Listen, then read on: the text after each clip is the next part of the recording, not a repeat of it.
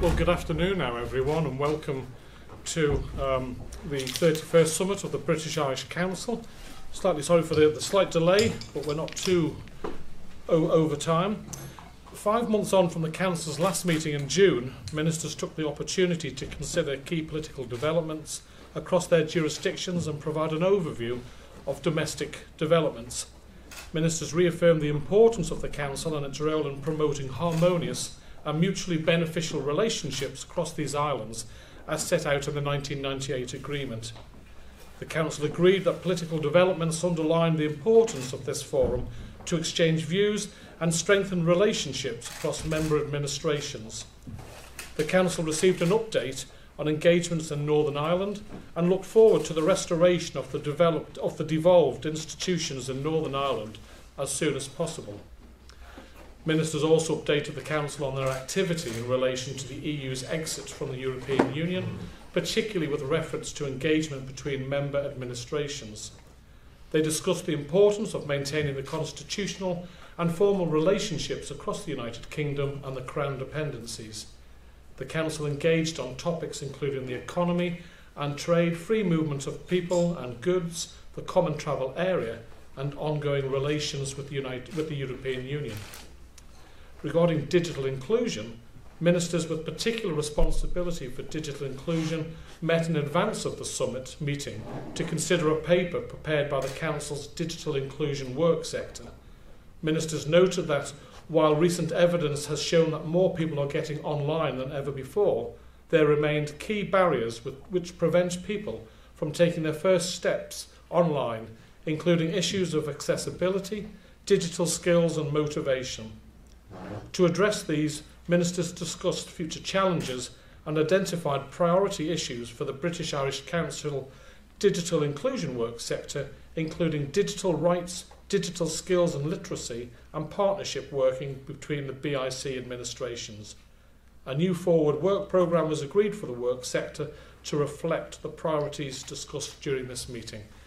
Now, open to any questions. And if, when you ask a question, if you could say who you're representing. You, sir. Uh, Sh- Shane Harrison, BBC. Um, can I ask questions of uh, David Lidington and the Taoiseach? Um, in the context of what we now know about the toing and froing of letters between the DUP and the Prime Minister, Mr Lidington, can you reassure the DUP that a Northern Ireland backstop will not be in the withdrawal agreement? And Taoiseach, do you expect a Northern Ireland backstop to go into the withdrawal agreement? There's this thing, it works.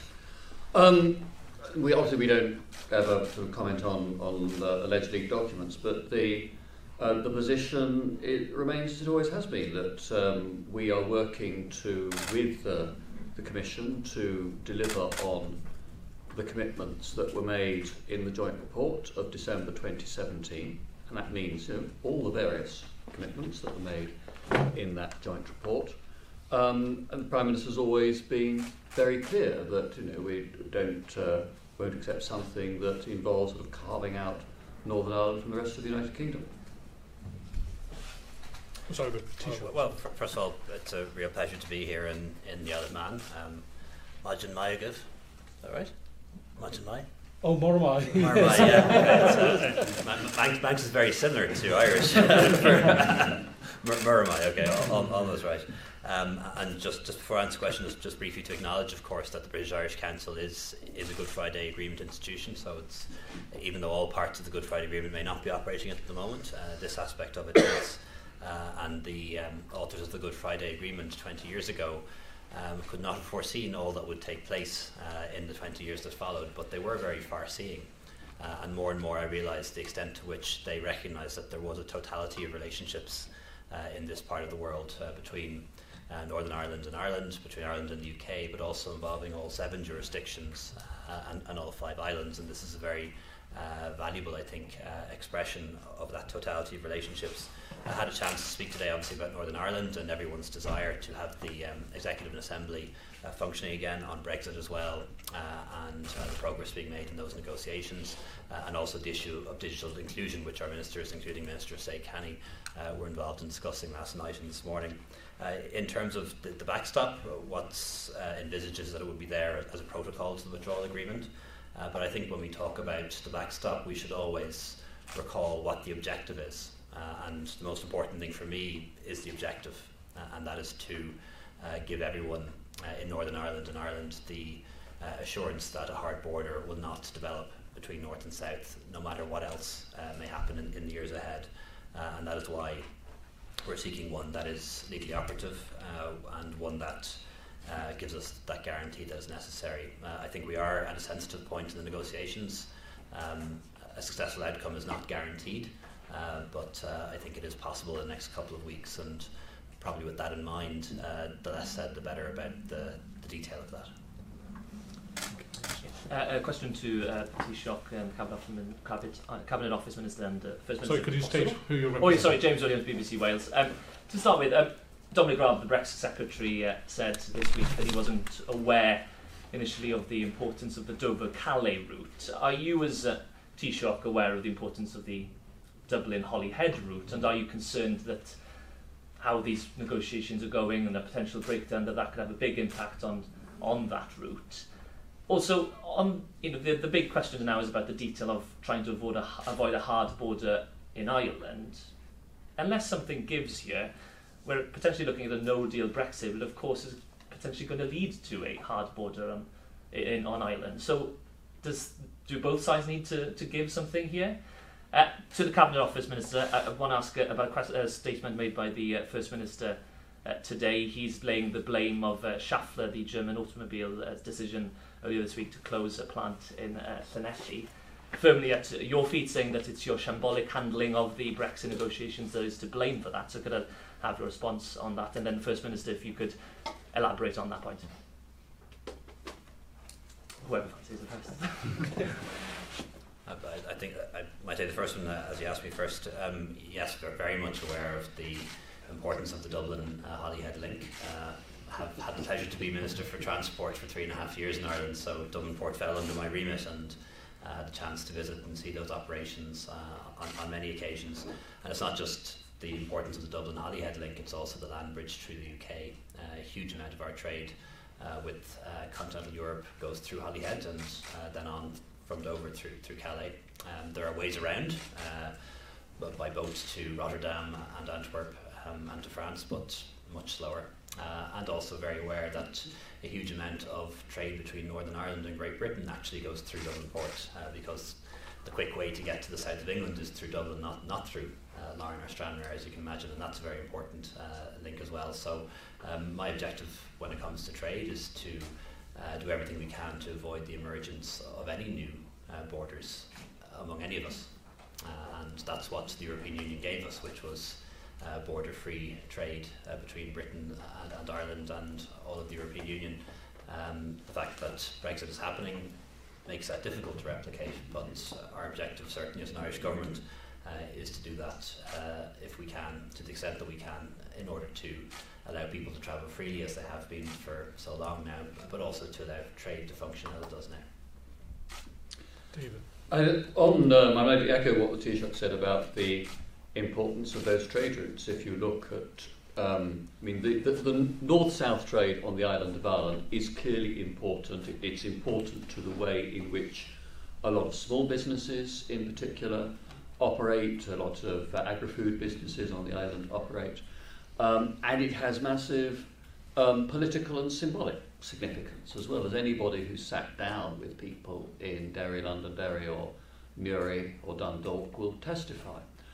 But in pure economic terms, the east-west trade between both Northern Ireland and GB and uh, Ireland and GB is far more important than the value of the trade that moves north-south across the jurisdictional borders. So that, to my mind, reinforces the fact that it is in the interest of everybody in these islands that we get both uh, an agreement on uh, the withdrawal deal, uh, which gives the certainty of the implementation period, uh, and at the same time a political declaration about uh, the future partnership and a future partnership where um, the EU27 as well as the United Kingdom uh, accept and work towards the objective of frictionless trade between our respective jurisdictions. That is the thing that will work best for businesses, for living standards of prosperity um, in every every part of um, the island of Ireland, every part of the United Kingdom, for that matter, I think in the Crown dependencies as well. Um, on the particular question that you asked about um, the company internationally, um, it's difficult for me to, I don't know the details of that company's operations to, to comment on that. Um, and uh, different companies at different times find that market conditions are affecting them. A number of uh, automotive companies at the moment are finding that, that sales, more generally, the demand in the market is not what they had uh, expected it to, to be. Um, but at the same time, you look at the, um, the, the pattern of inward investment into the United Kingdom, and in the last year, we were still attracting uh, more uh, third country inward investment to the UK than any other member state of the European Union. So I think that the track record shows that um, our uh, attractiveness as a destination for third country inward investment remains very powerful indeed. Now, I'm absolutely convinced that one of the benefits of uh, uh, a successful outcome to the current negotiations would be a reinforcement of that position. And that is a reason, again, why I think it's in the interest of everybody in the United Kingdom that we get uh, an early and comprehensive resolution of uh, those negotiations so that we can move on and construct a sort of deep and special future partnership that I think is in the interest of all countries involved. Cymraeg a Saesneg or just English? We, we'll, we'll speak later in Welsh, okay? Lan chi, Saesneg iawn. Okay. Uh, well, in terms of Schaeffler, those are not my words, they're their words. Uh, they've said that Brexit is uh, one of the major issues that's caused them to look to uh, close uh, the plant in, uh, in, It emphasises to me the need to get certainty as quickly as possible. Uh, David and I have discussed this this morning, uh, along with, with, with First of Scotland, uh, and uh, we all understand that uh, business needs certainty more than anything else. Uh, I hope over the next uh, few weeks we will get that certainty. So business feels that they are now operating in a situation uh, where they can see the future. Because at the moment uh, it's very difficult for them. Just since the summer particularly, uh, they become concerned that there might be a no deal, uh, and as a result of that, they've started taking decisions that are not uh, good decisions as far as we are concerned. Schaeffler is, of course, an example of that. I think on the issue of the hard border, well understand, of course, um, the issues surrounding the border on the island of Ireland, but it's important to avoid a hard border between Ireland and the UK. The last thing I want to see is a hard border between Ireland and Wales. 70% of trade between GB and Ireland goes to the Welsh ports. If there's extra bureaucracy, um, extra checks at the Welsh ports, uh, that will have an effect on the ports themselves and of course on the road structure leading into the ports, both of which are devolved. Uh, we run the ports, we run the roads, uh, there is a danger that if we had a hard Brexit uh, with no deal, for example, uh, that we would end up having to pay uh, a huge amount of money uh, on the port and on the roads in order to accommodate the, uh, the, traffic that will be delayed there as a result of, of uh, any, any position of extra controls. So it's hugely important for us in Wales to avoid that as well. So hard border, of course, we want to see that avoided in Ireland, but we also want to see it avoided in the sea as well. I what David says, of course, about um, the avoiding down the Irish Sea. That applies uh, as much to Wales as it does to, uh, to anywhere else. The last thing I'd want to see is a situation created where uh, freight moved through the ports of Northern Ireland. Uh, we have no direct link with Northern Ireland, of course, because the Welsh ports were seen as more problematic. That clearly would have an effect on trade and on jobs. Thank you. Lady on the second row, and then Adrian. Yes, Fiona Mitchell from RTE News. Uh, just wondering, um, do you feel that that letter from Theresa May now potentially leaves the way open for regulatory checks on goods between Northern Ireland and the rest of the UK? And do you think that maybe, or do you think that maybe this is Theresa May simply reinforcing that any backstop has to be time limited? And given the response of the DUP so far to that letter, how much damage do you think that this potentially does to being able to reach a deal at all? Uh, well, I, I suppose you're, you're asking me about uh, correspondence between Prime Minister May and the DUP and Um, I, I'm a third party in, in that particular conversation, so it's probably best for me not, not to speak on behalf either of the Prime Minister or the DUP. That they're very much able to speak for uh, speak for themselves. Um, but I do think when it comes to Northern Ireland, uh, it's very important to listen to and have regard to, what the DUP has to say. Uh, but there are other political parties as well uh, who represent um, the majority of people in Northern Ireland, uh, and there's also Northern Ireland business and Northern Ireland farmers and people who live in Northern Ireland. Uh, and I think we really have to have regard to uh, that as well uh, in coming to any conclusions. Uh, and certainly, uh, you know, the position of the Irish government uh, ha- has always been that we don't want to see any new borders uh, between us, uh, and that applies uh, as much between um, Larne and Stranraer or between uh, Belfast and London as it does between uh, Newry and Dundalk or, or, or, or Derry and Londonderry. We're not the ones here who are seeking uh, any borders or any new checks of, of, of any sort, um, but Brexit has given risen to a difficult situation uh, and we need to resolve that. Adrian. Adrian from Isle of Man newspapers. There's a question for um, Howard Quayle, Chief Minister, Taoiseach and uh, the First Minister of Scotland. What are your thoughts on how Brexit will impact on relations between um, Ireland, uh, Scotland, Wales and the Crown dependencies in whatever form that is? And how confident are you that we will get a deal and how soon? Right, well, I'll kick that one off. F- first, obviously, the benefit and the beauty of the British Irish Council is that the Isle of Man can have good working relationships with Ireland, Scotland, Wales, and, and, and the rest of our, of our colleagues. It's really important. It gives us an opportunity to raise the, the concerns that we have. The Isle of Man is in the middle of the Irish Sea. Our closest neighbours are geographically Ireland, Scotland, and, and, and Wales. So we are obviously concerned, but I think the sooner the better that an agreement can be reached. I suppose the definition of what a good agreement will be, we can all have various viewpoints on. But this organisation is, is key, certainly from an Isle of Man point of view, to ensuring that we are well represented. Well, firstly, on uh, the, the last part of your question, how likely do I think it is that there will be a deal? I'm not uh, party to these negotiations. Uh, clearly, the next few days are going to be uh, critical, and we will require to wait and see uh, what transpires.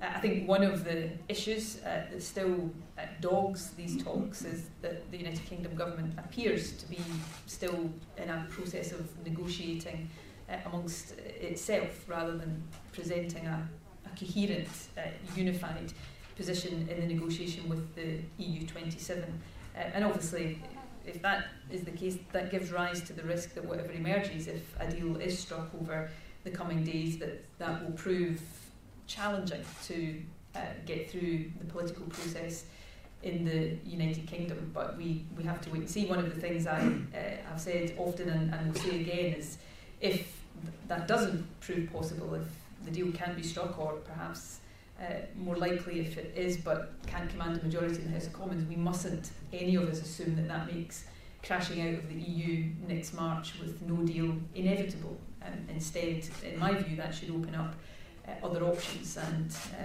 my preferred option all along, if the UK is leaving the EU, which I regret, is that it should seek to stay within the single market and the customs union, which would obviously uh, resolve along the way the issues around uh, both the Northern Irish uh, Republic border and the, the border between Ireland and uh, GB. In terms of the relationships, I mean, I um, will make no bones about the fact that the, the Brexit experience has uh, exposed real uh, weaknesses within the devolution settlement, and I only speak for Scotland right now, that will require to be worked through and, and resolved along the way. Uh, there have been frustrations on the part of the Scottish Government uh, about lack of engagement and involvement. Obviously, we've had quite heated debates and discussions around uh, power grabs on the devolved uh, parliaments and uh, issues around uh, how the powers of the devolved administrations are respected. And there's no there's no point in, in not being upfront and frank about that. And it's something David and I and Karen have touched on this morning about the need to make sure that we are uh, recognising that and thinking how we resolve these issues in the future.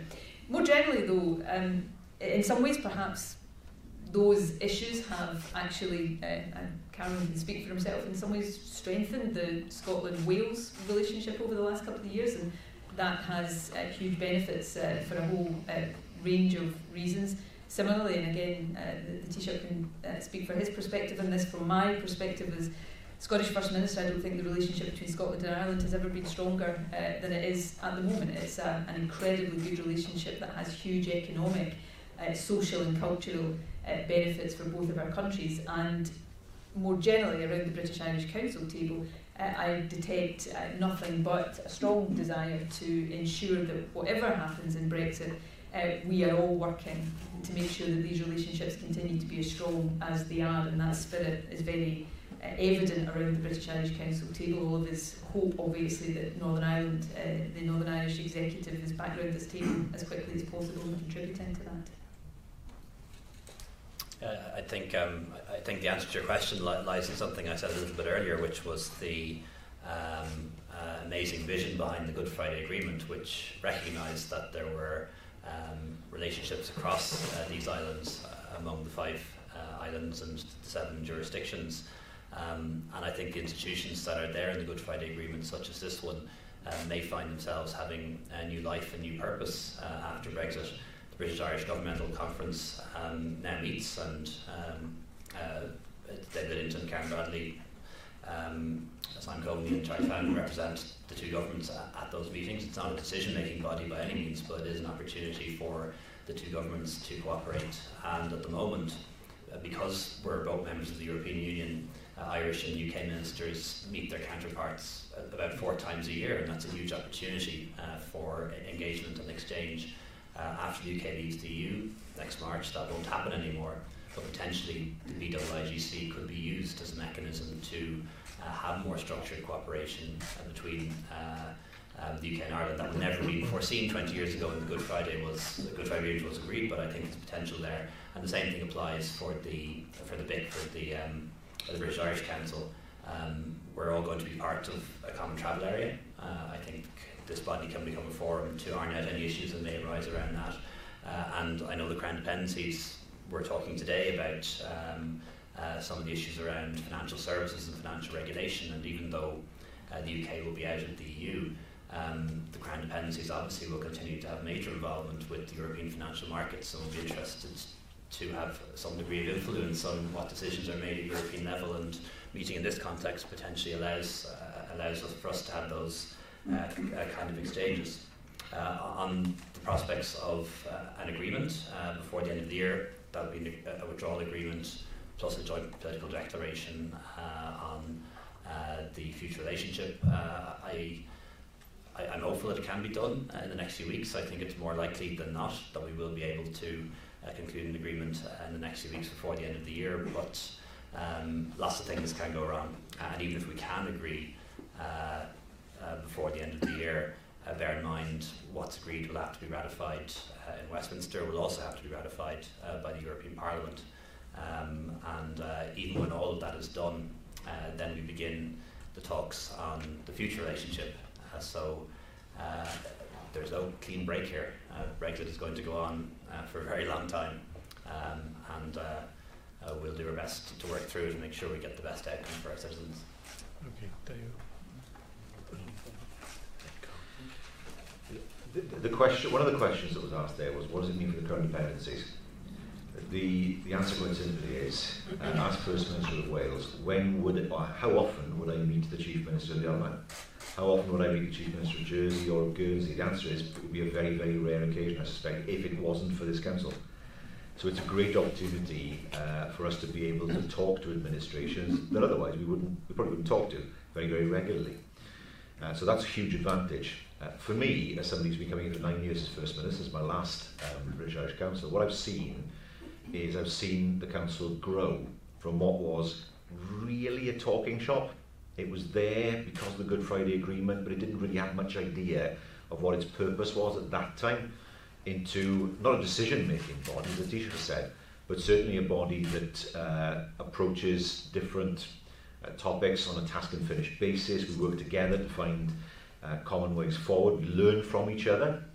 Uh, and outside the council itself, we have obviously bilateral meetings. They're very useful as well. So for me, it's a huge opportunity for, for all of us who live in this part of the world uh, to be able to, to talk to each other uh, and to learn from each other, uh, which would be lost if this forum didn't exist. Uh, so it's been very valuable, and I've seen it, as I said, grow over the last, the last nine years from something that was a bit vague in terms of what its purpose was to a body that's far more focused now uh, than it certainly was then. Okay, last question, I'm afraid, because some, unfortunately, some of our colleagues have to, a plane to catch. Lady on the third row. Uh, Vicky Hawthorne from UTV in Belfast. Mr Lidington, can I ask you, given the Prime Minister's letter to the DUP uh, in the last number of days, does it mean uh, any chance of getting a Brexit deal through Parliament has been lost? And also to the Taoiseach, Varadkar, I know you say you can't comment on behalf of anybody else. What are your concerns about the communications you're hearing between the DUP and the Prime Minister? Well, I think that um, we remain very determined to get a good deal that works for every part of the United Kingdom and which uh, we also think would work well for the EU27. They, after all, are going to remain our closest neighbours in the world, a community of democracies based on the rule of law and human rights, uh, with whom we will want to work closely on a number of big international issues, um, whether that is countering terrorism and organised crime, or whether that is about working together on uh, the threat posed by climate change. Um, and in respect of uh, the Irish border, as, as I said earlier, we remain committed to the approach that was set out uh, in a very balanced way in the joint report of last December, which in itself reflected the balance inherent in the Good Friday Belfast Agreement between the different traditions, uh, identities, and aspirations in Northern Ireland. Um, I think that if we get the uh, withdrawal agreement and the accompanying political declaration, which I hope that we can secure uh, in the weeks to come, that that will create a new dynamic. I think that members of Parliament and members of the European Parliament too, as the Taoiseach reminded us, um, will be looking at what that deal says. It will no longer be a question of some hypothetical outcome uh, to which anybody might wish to add or subtract their own particular preferences, but a, a uh, a, a set of documents, a pair of documents that will have been agreed and endorsed by the government of the United Kingdom and by the 27 other governments of the member states of the European Union, uh, led by politicians of left, right, and centre. So there will be a product on the table which um, all will have signed up to that will have involved compromises give and take on, on, on all sides. Uh, and I think then uh, people will need to ask themselves what is it that is going to be in the best interests of those who sent them to Westminster to represent them, to ensure that we maintain living standards and investment and prosperity and employment in our country. And I hope and I believe that we can secure that majority in Parliament for, uh, for the uh, agreement. Yeah, to just answer your question, um, you know, I, I have no specific concerns about the communications that are happening between uh, Prime Minister May and the DUP. It's entirely appropriate that they should be uh, communicating on an issue uh, of real importance um, to all of us. Um, the only thing that I would say is that uh, it is very important that we listen to the voice of Northern Ireland in all of this. And when we listen to the voice of Northern Ireland, uh, we should listen to all political parties, we should listen to farmers, to fishermen, uh, to the business community, to trade unions, and to civil society. And I think if we do that, and if we listen to um, the voice of Northern Ireland as a whole, uh, that will help us to come to an agreement.